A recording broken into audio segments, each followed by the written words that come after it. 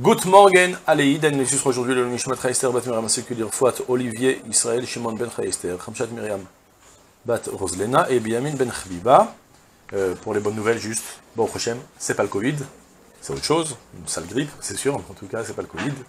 Et, euh, et voilà, euh, si vous souhaitez vous dédier une prochaine étude de Misha, contactez le 5 minutes éternelles. Nous étudions Masechet Shabbat, Perikrav Bet, Mishnah, Vav, Sachin, Omemashmeshin, bivnei me'aim, aval lo mit'amlin velo mitgardin. En yordin lekordima, ve'en osin apik tevizin. ואין מעצבין את הקטן ואין מחזירין את השבר.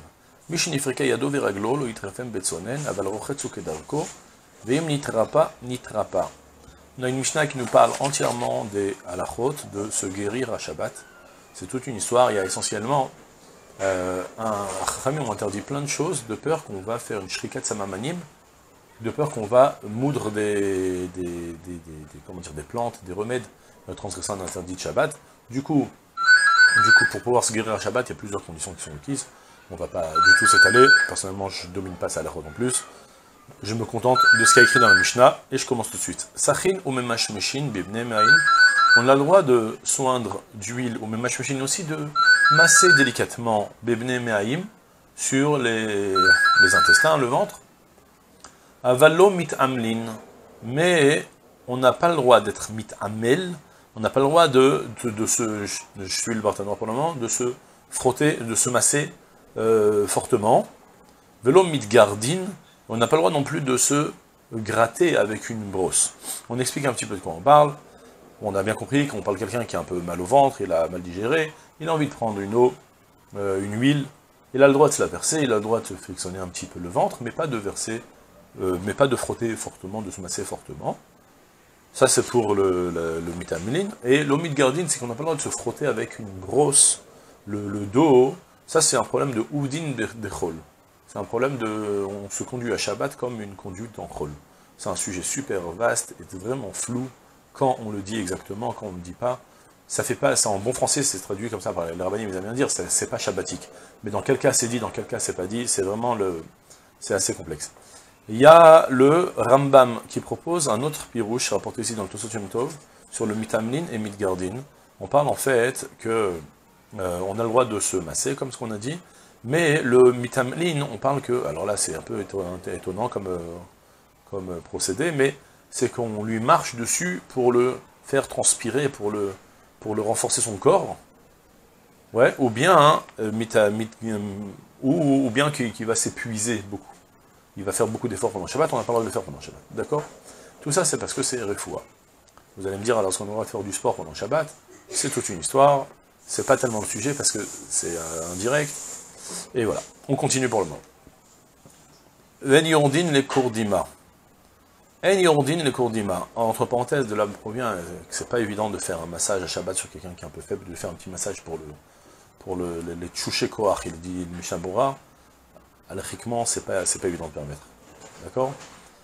En yordin le kourdima. On n'a pas le droit de partir se tremper un petit peu dans le kourdima. C'est une eau où il y avait dedans, de, le, où le parterre était glissant et de peur qu'il va tomber en fait, et qu'il va avoir les vêtements tout mouillés qui va venir aller s'essorer pendant Shabbat. D'accord?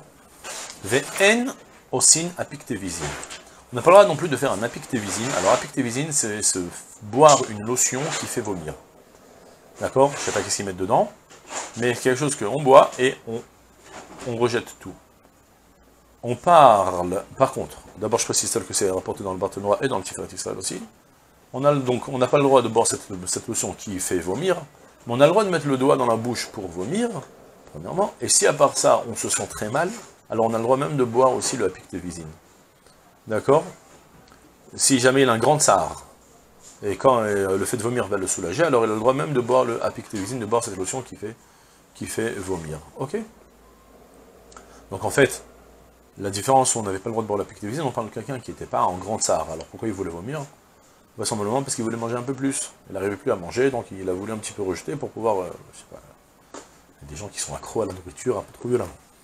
Ve'en me'atzvin et akatan. Ve'en me'atzvin et akatan, on n'a pas le droit de, comment dire, de raffermir le petit. C'est-à-dire, en fait, et là on va parler, en fait, on va dans les prochaines halachot, on va parler, il y a un interdit, midera banane, je pense, de bonnet, de construire. C'est-à-dire, si on a le corps qui va un petit peu travers, on a envie de l'envelopper pour le ressaisir. On va parler dans, tout de suite après celui qui s'est foulé le poignet, celui qui s'est cassé un os. Pour le moment, on parle d'un petit, un petit, alors, je ne sais pas si c'est plus tellement d'usage apparemment aujourd'hui, mais dans la Mishnah dans on en parle fréquemment, que, les, petits, on les, on les, quand, ils naissaient, eh bien on, les enveloppait fortement pour, que, pour raffermir, pour que leur corps, leurs os se disposent bien, leur colonne vertébrale. Alors pour les tout petits, c'est permis, mais pour les plus grands, c'est interdit, comme ça le Barthénois explique. Ben Marzirin et celui qui s'est cassé l'os, il n'a pas le droit de remettre l'os en place. C'est une technique, à l'époque, c'est fréquent encore chez, le footballeur, j'ai déjà vu ça qu'il le faisait, il tire le pied et il le remet en place. La Mishnah interdit, mais la Lacha, c'est permis.